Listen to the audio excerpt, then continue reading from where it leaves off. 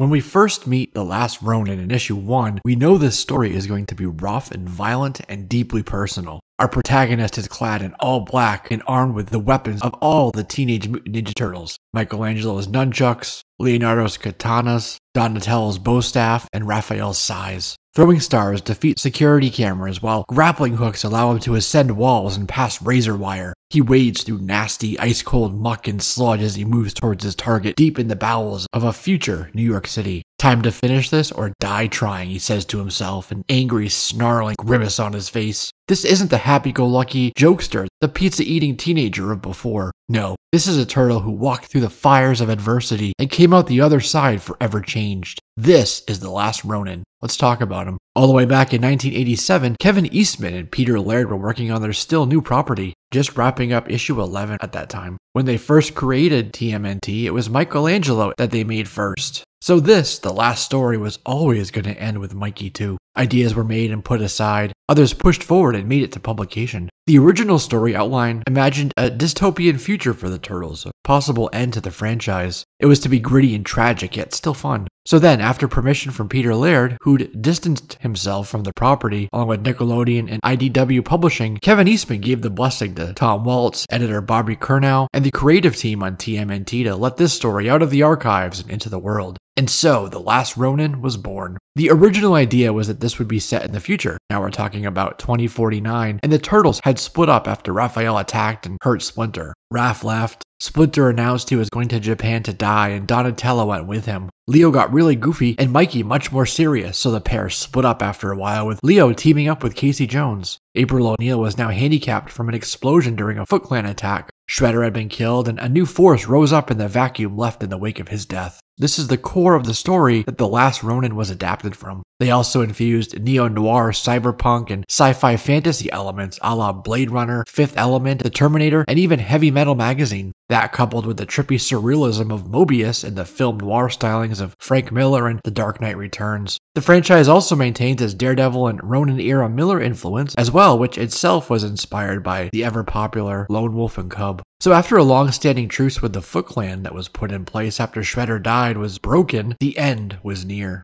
Splinter was ambushed and gravely wounded after being attacked by the Foot Clan. So, deeply infuriated, Raphael went out for revenge against Oroku Karai, the daughter of Oroku Saki, aka Shredder, and the mother to Araki Hiroto, the new master of the Foot Clan in the future, evoking images of Miller's Elektra. Karai is an adaptation of Karai from 1992's City at War story. Raphael tried to kill Karai, but she stabbed him in the neck so deep the blade came out of his mouth. The creator of the Mousers, still used in 2049, named Baxter Stockman, tried to recover Fugitoid, which led to both Casey Jones and Leonardo being killed. Most of Leo and Casey's strike team were also killed. The same battle that wounded April O'Neil, but those that survived went underground and began the resistance efforts. Then the Foot Clan finished off Donatello and Splinter, leaving one left Michelangelo, a warrior now without a master, a Ronin, the last Ninja Turtle, the last Ronin. In many ways, this story parallels the Revenge of the 47 Ronin or Revenge of the Soga brothers of Japanese legend. So the strike team that Splinter had set up continued on, but eventually, with help from Commander Avion, transformed into the Rock Bottom Resistance.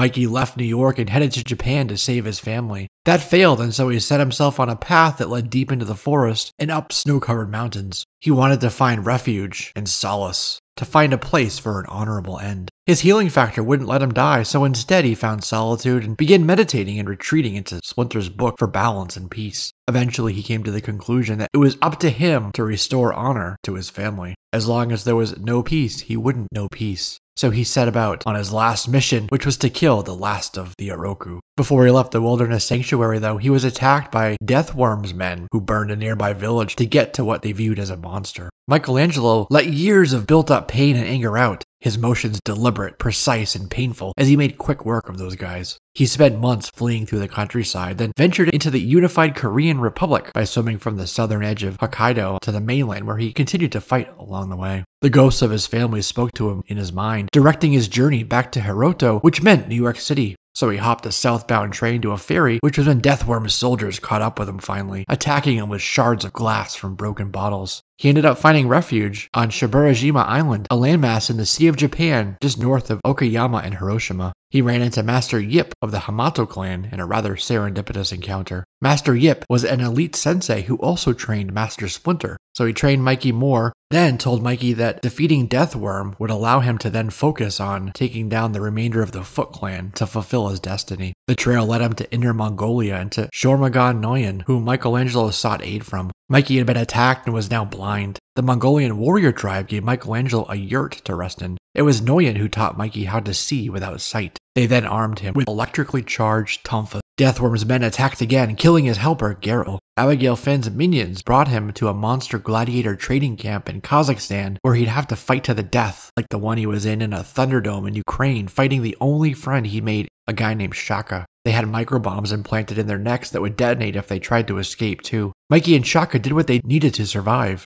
killing, while watching each other six. That is, until they were forced to fight each other. Shaka was about to rebel instead of killing his friend, so his bomb went off and he was taken out, to the horror of Michelangelo. His prize for winning by default, though, was his freedom. As soon as he got his stuff, he took a side at Abigail's throat and demanded Deathworm. That journey took him around Europe, through Italy, and to a Roman Colosseum. He impaled his sai in the forehead of one of Deathworm's soldiers, then met the man himself, Ogoi Korkoi. They fought with fists and blades until Michelangelo took Deathworm down with his tonfa still crackling with energy as the fried Deathworm cooked in the dirt at his feet. He then stowed away a freight vessel and headed for the east coast of North America. Mikey set about to strike at the Foot Clan in New York. In the present day, Mikey again infiltrated New York City and stole a motorcycle, then crashed it into a fuel truck, using the blast wave to propel him up the side of a building. He then used smoke bombs when he saw robotic security guards wielding katanas nearby. And as he continued to penetrate deeper into the facility, he kept in mind the first real lesson that their sensei, Master Splinter, taught the turtles strike hard,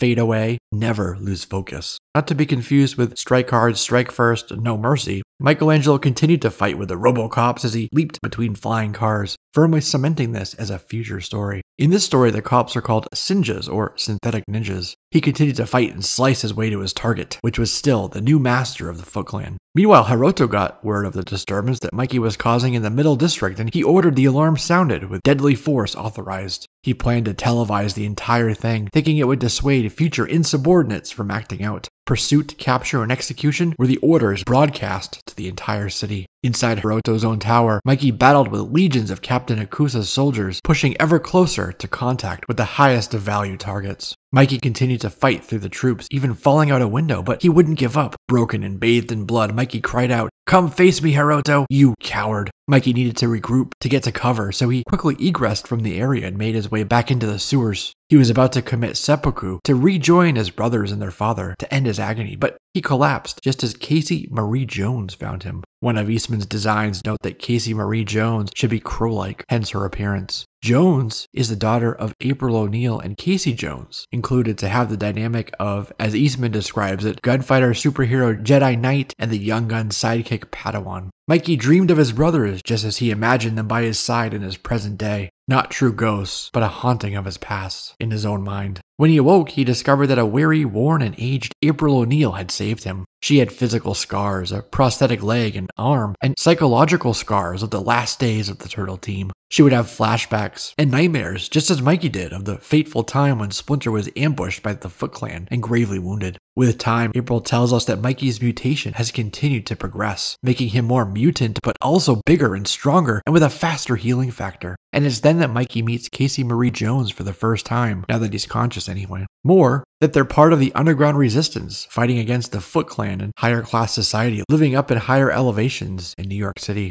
Hiroto then broadcast himself to the city to announce that a mutant monster was afoot in the city and that this crime was punishable by death. Until the monster was hunted down and neutralized, captured, or killed, the entire city was being put under martial law. And then April revealed that she had Fugitoid. He was part of the plan. To get to Hiroto, they need Fugitoid to take down Baxter Stockman and all of his systems first. To even the odds, April showed Michelangelo their new battle wagon, which evoked design elements of Batman's Tumbler and even the Colonial Marines APC from Aliens. In one talk between Mikey and April, where Mikey told her of the time when Shredder's forces ambushed Splinter at the peace talks, April revealed that the turtle's mutagen DNA was passed on to Casey from her parents, who'd acquired trace amounts from long term exposure to the TMNT team. Because of that, young Casey now had increased speed and strength and her own healing abilities. Michelangelo, by the way, had taken up the role of sensei to Casey. Michelangelo, Casey, and the Resistance then assaulted Stockman's fortress on Roosevelt Island, an attack that was met with mecha and a heavily armed garrison of cybernetic troops.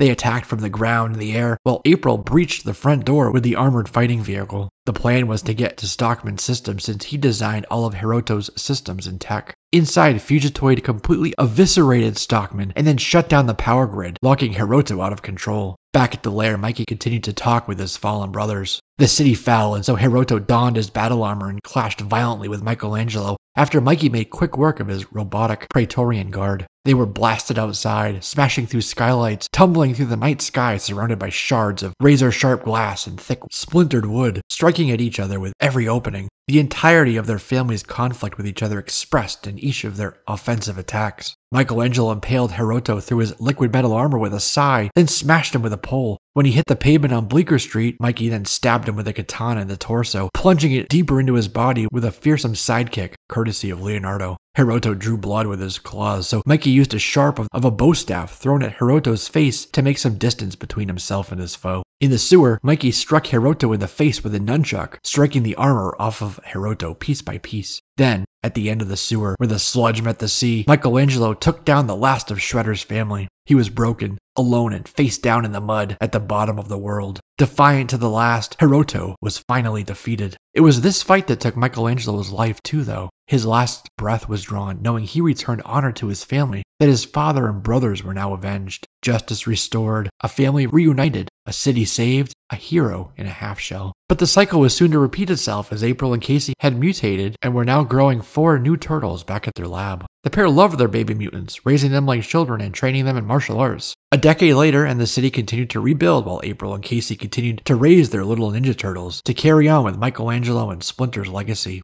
And so the story of The Last Ronin and the Teenage Mutant Ninja Turtles carries on into an uncertain future. We'll get more than just comic books, too. An RPG game is currently in development, and in early 2024, a live action R rated feature film was announced as in development at Paramount by producer Walter Hamada. That script is being written by Tyler Burton Smith, who wrote Bill Skarsgård's Boy Kills World. And so there you have it, my friends, the story of The Last Ronin. I'm Jesse, this is JLS Comics, and I'll see you soon.